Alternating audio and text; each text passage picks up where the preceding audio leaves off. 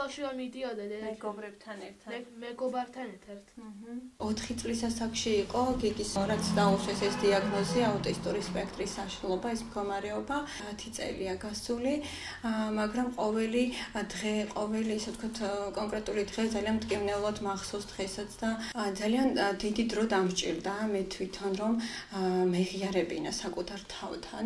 ნამდვილად რთული იყო საკუთარ მაგალითზე ვამბობ, მე თვითონ ვიყავი ისე ვთქვათ სტიგმის მატარებელი, მე თვითონ ვერ ვაღიარე თავიდან ჩემს თავთან ჩემი შვილი, როდესაც გიგი გახდა სასკოლო ასაკის და პირველი მისვლა მასწავლებელთან. და რომ აღიარებ რომ შულს აქ ეს მეგონა აი ძალიან რთულად მახსენდება და ყველა ნაბიჯიც კი მახსოვს სანამ სკოლაში მივიდოდი და დამხვდა ძალიან კარგი ეს გესათნო ადამიანი რომელმაც მითხრა მე რა ესეთი ბავშვები არსებობენ თქვენ არ ხართ პირველი და აი ეს იყო აი მედის მომცემი რომ ვიღაცამ ჩემი შვილი ესე თქვით მიიღო იმ მომენტში და მართლა იყო ყველაზე ბედნიერი ვიყავი იმ წუთას მაგრამ გიგი მაძლევდა იმეც თვითონ ბავშვი თავისი უნარებიდან გამომდინარე მას პატარა ასაკიდანვე ეთყობოდა რაღაც კონკრეტული განვითარება. მაგალითად 3 წლის ასაკში როდესაც ვერ ლაპარაკობდა დედას არ ეძახდა შეძლო წერა.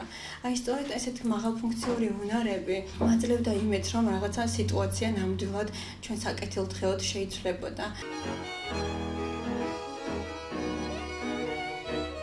ბედნიერი ვარ და ეს კიდევაც მეტყობა. გიგი მაპოვნინა თავიც, რაღაც საქმიანი გამხადა, მეტად საინტერესო ცხოვრებით მაცხოვრა და ვცხოვრობ დღესაც.